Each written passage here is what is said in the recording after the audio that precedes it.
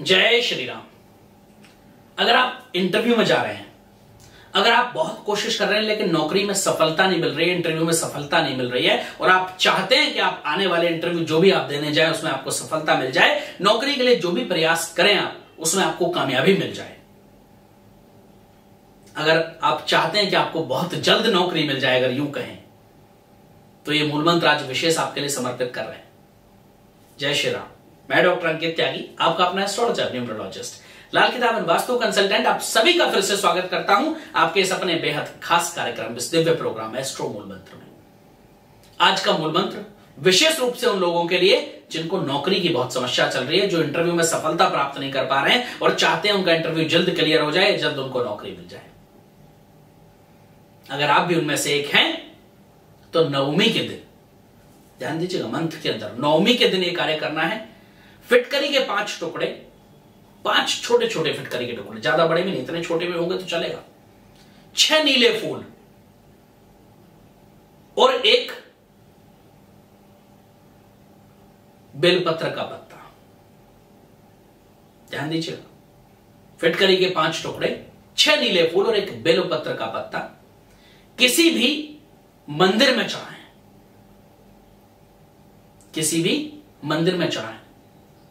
और साथ में अगर संभव हो सके तो कोई भी चमड़े का पर्स, ठीक है, या लेदर से बनी हुई कोई भी चीज़, लेदर का कोई पर्स हो, बैग हो, वॉलेट हो, चप्पल हो, जूते हो, वो उससे अगले दिन, यानी दसवीं के दिन किसी कन्या को, जो छोटी छोटी कन्या है, नौ साल से कम उम्र की कोई गरीब कन्या हो, उसको भेंट कर दें।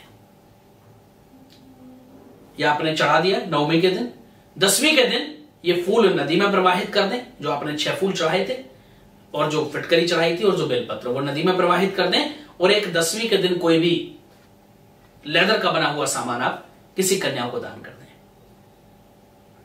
जो फिटकरी आपने चढ़ाई थी, उसको जब आप प्रवाहित कर रहे हो तो ध्यान रखें, उसमें से एक टुकड़ा बचा लें और उसे अपने पास रख लें।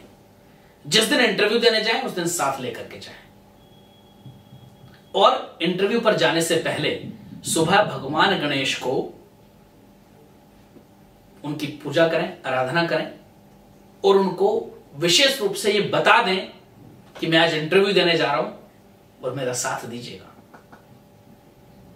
दूरवा घास अर्पित करें और घर से जब निकले तो फिटकरी के साथ थोड़ी सी दूरवा घास भी अपने पॉकेट में रख लें। इंटरव्यू वाले दिन सुबह गायत्री मंत्र का 27 बार जाप करें और कोशिश करें कि हल्के लाइट कलर्स के शर्ट या कपड़े पहनकर आप इंटरव्यू देने जाएँ।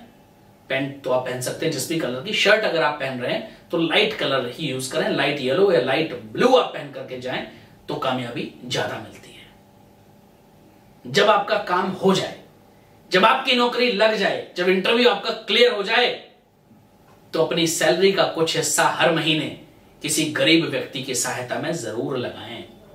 देखते ही देखते आप नौकरी में इतनी तरक्की करेंगे कि आपने कभी सोचा नहीं होगा, कभी विचार नहीं किया होगा। कुछ हिस्सा, कुछ गरीबों की मदद में ज़रूर लगाएँ, चाहे आप खाना, मैं तो हमेशा कहता हूँ, किसी को पैसे मत दो, आप खाना दान करें। अन्नदान से बड़ा दान नहीं है।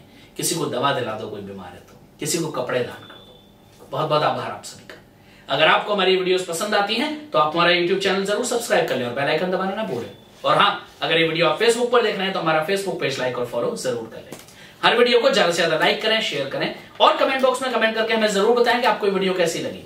फिर मिलेंगे नई जानकारी के साथ। तब तक के लिए आप सबको मेरी तरफ़ से जय श्री राम।